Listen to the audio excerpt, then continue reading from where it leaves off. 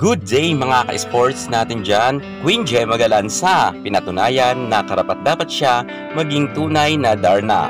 Bukod nga sa nasabi nating magaling siyang lumipad sa loob ng court, alam nyo ba na may kabutihang puso ang ating Queen Gemma Galanza at hindi na malingid sa kaalaman natin na namimigay nga siya ng mga regalo sa mga kapuspalad. Pero ngayon ang ating ibibida sa ating Queen Gemma Galanza ang ating mga aso. Alam nyo ba ang aso at pusa ay mahilig pala ang ating Gemma Galanza. At alam nyo na namimigay siya sa kalsada at iniikot niya para nga magpakain sa mga nasa kalsada at sa mga nasa tabi-tabing bahay ng mga aso at pusa. Ganyan po ang ating Gemma Galanza.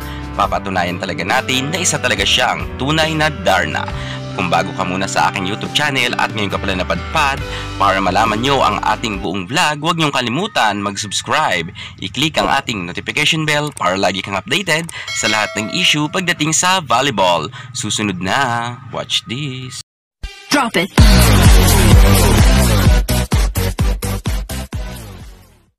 Queen Gemma Galanza, hindi niya alintana ang kainitan sa kalsada pero alam niyo ba na ang ating Queen J ay talagang umiikot siya para nga mamigay ng mga pagkain sa aso at pusa. Yan po ang ating Gemma Galanza. Sadyang may napakabuting puso ang ating Gemma kung kaya nga pinagpapala talaga siya ng buong may kapal. Samantalang nagpapasalamat naman si Gemma Galanza sa lahat ng mga tumutulong sa kanyang advokasya at higit sa lahat sa mga sponsor na matupad nga ang mga pangarap ni Gemma kagaya nga ng ganitong pagtulong sa ating kapwa at hindi lang sa ating kapwa, bagkus sa ating mga minamahal na aso at pusa.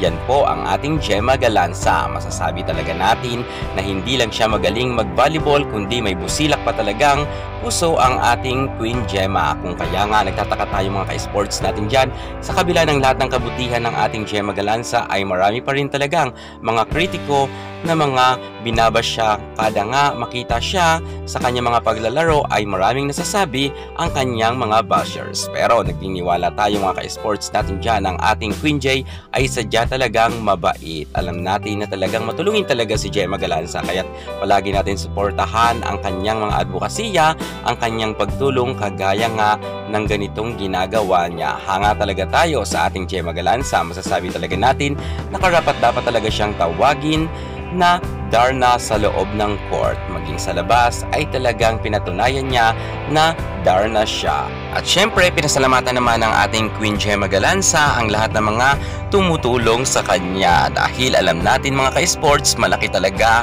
ang nagagawa ni Gemma sa ating komunidad. O yan mga ka-sports natin dyan ha, sa mga basher dyan ni Gemma, sana ang mga idol nyo ay gaya rin ng ginagawa ni Gemma Galanza. Tahimik lang, pero meron talagang ginagawang kabutihan sa ating kapwa man o sa ating mga minamahal na aso at pusa. Yan muna pinaka-latest natin sa mundo ng volleyball.